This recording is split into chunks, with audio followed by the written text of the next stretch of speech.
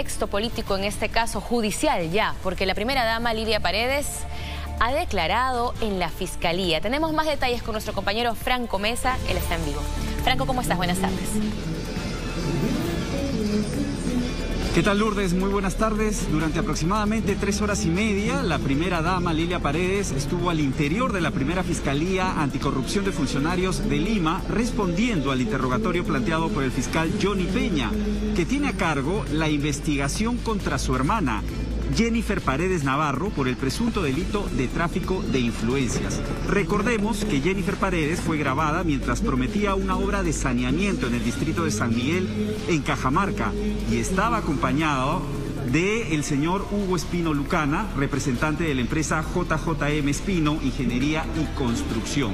Dado que Jennifer Paredes no es funcionaria, no podría estar prometiendo obras a determinada población. y además, el señor Hugo Espino Lucana ha tenido diversas reuniones dentro de Palacio de Gobierno, tanto con Jennifer Paredes como con Lilia Paredes, la primera dama. Esto ocurrió en agosto del 2021 además de que este empresario, a través de su compañía JJM Espino Ingeniería y Construcción, ganó una, licitación perdón, en marzo de este año. Todos esos elementos confluyeron para que el fiscal Johnny Peña abriera una investigación en contra de la cuñada del presidente Pedro Castillo y esta vez haya citado a la primera dama Lilia Paredes. Su abogado, Benji Espinosa, declaró a los periodistas que estábamos aguardando aquí y vamos a escuchar lo que dijo. Vamos. La primera dama, Lilia Paredes, ha contestado a todas las preguntas que el Ministerio Público le ha realizado, pudiendo haber guardado silencio, pudiendo haberse abstenido a declarar porque la norma lo manda.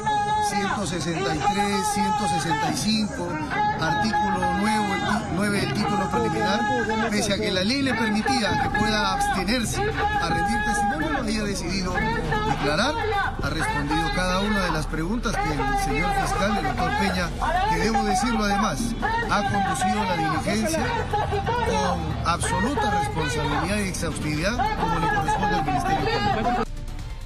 Muy bien que haya respondido entonces la primera dama Lilia Paredes ante la Fiscalía. Sin embargo, habría que eh, tener en cuenta, han pasado tres horas y media según nos relatas Franco, eh, desde que llegó la primera dama a esta sede fiscal. ¿Cuántas preguntas le habrían hecho? ¿Ha trascendido esa información? Esa información todavía no ha trascendido Lourdes. Eh, de hecho, eh, quien dio la información, que brindó la información, ha sido el abogado de eh, la señora Paredes, Benji Espinosa, y él resaltó en todo momento que esta vez, pese a que la primera dama, según él explicó, no estaba obligada a brindar información al fiscal, esta vez sí accedió a responder todas las preguntas planteadas por él.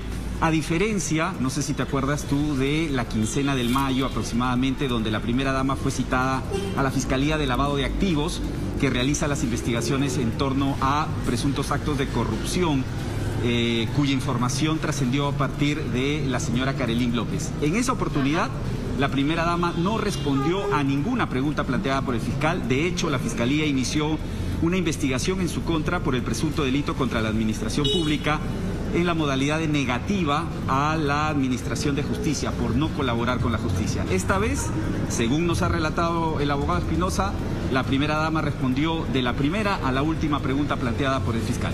Ajá, sí, y además ha señalado que eh, la primera dama le ha dicho que tiene todo el interés de asistir a la primera citación eso quiere decir que solamente en esta oportunidad acudiría, que para ella ya es suficiente y no acudirá a, unas eventuales siguientes citaciones.